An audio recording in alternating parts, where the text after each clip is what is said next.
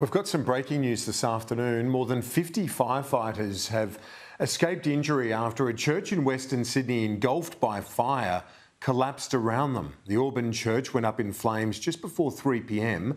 Firefighters entered the building to search for occupants but were forced back by the flames. A short time later, the church collapsed. Thankfully, nobody was inside. Authorities have set up an exclusion zone.